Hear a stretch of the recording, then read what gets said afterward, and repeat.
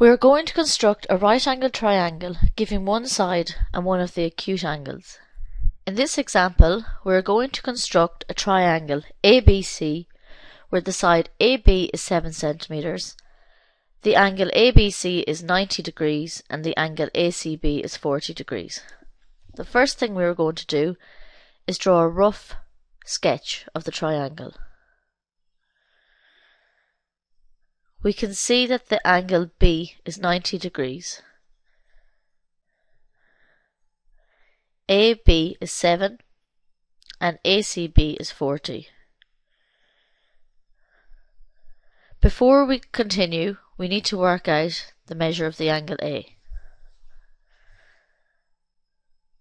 40 and 90 is equal to 130 degrees.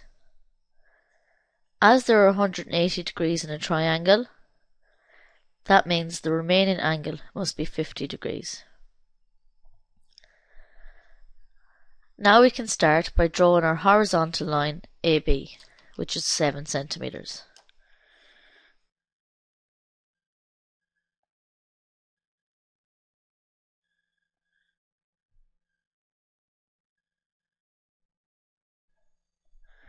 We can see we have an angle of 90 degrees at the point B.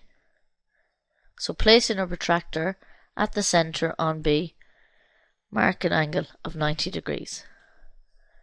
We're going to draw a line through this.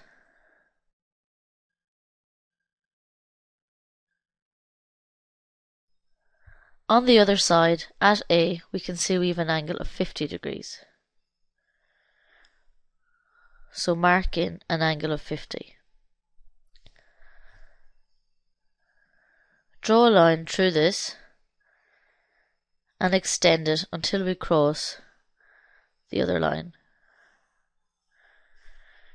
Here we can see we have our point C. Now we have AB, which is equal to 7. The angle B is 90 degrees. The angle A is 50 degrees and a remaining angle of 40 degrees.